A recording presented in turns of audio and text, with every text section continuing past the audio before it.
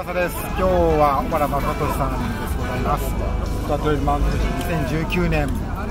4位でフィニッシュ。おめでとうございました。いやありがとうございます。頑張りました。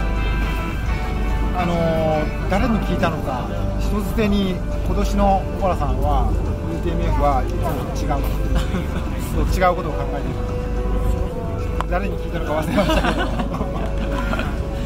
その通りね、あのー、プッシュ、最初からもうドレッシング、プッシュ、ちょっと今までのキャラにない走りだなと思っていたけど、見事にそのままフィニッシュ、やっぱりそれはもうずっと考えてた。そうですね、あのまあ、私あの UTMB に出るんですけど、やっぱり、まあ、あの UTMB であの、まあ、トップ10っていうふうに考走りじゃやっぱ届かないっていうふうに思ったんですね。なので、そのまあ、やっぱりこう前半から積極的に行く走りで100マイルを走りきれないとっていうふうに思ってで、まあ、あの今回その UTMF が、まあ、MV の前にあるので、まあ、今回まずちょっと UTMF でそういう走りをしてどうなるかっていうのをちょっと試してみようと思ってなんとかねこれできました。とはいう今回、まあ、小川さんもほぼすべての UTMF を初回から全部、ほぼほぼじゃない、全部ですね、その中でね、なかなかこの雨が降って蒸し暑、蒸し暑くはないけど、かなり霧が出て、コンディションが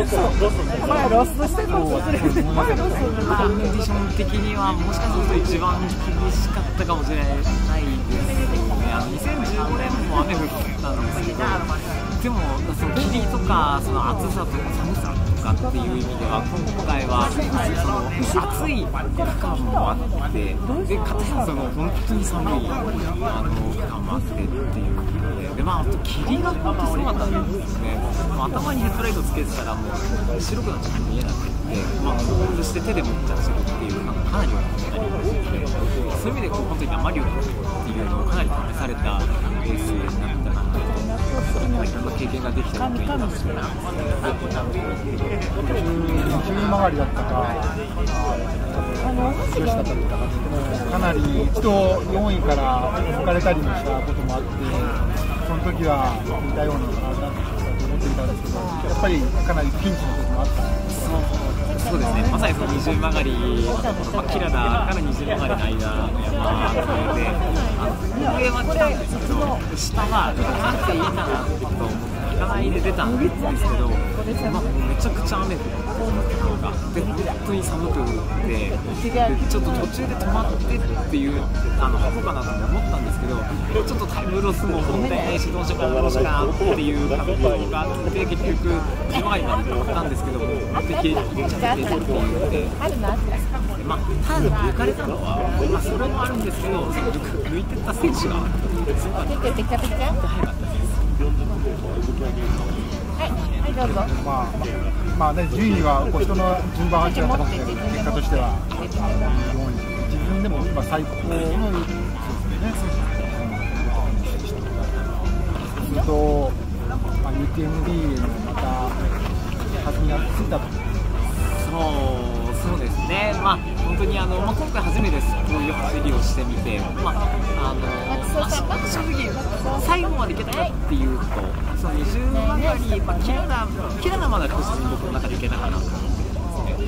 ちょっとその後やっぱりちょっと崩れてしまったっていうところが、まあ、あとまだ4ヶ月にあるので、ちょっとそこをしたらいいのかなっていうのはちょっと感じたんですけど、まあ、結局練習するしかない強化するっていう、まあ、課題も見えましたし、まあ、そういう意味で、まあ、本当に、まあ、いいレースができたなって自分の中で思って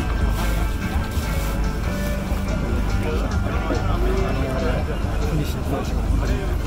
たくさんの皆さんにこう支えていっていただくに見守られながら心強いということがあったんじゃないかと思います。今年のあのマラソンチャレンジは、まあ、これがここから始まるということかと思います。ありがとうございました。ありがとうございました皆さんにまた応援してまいりたいと思います。お疲れ様でした。ありがとうございますありがとうございました。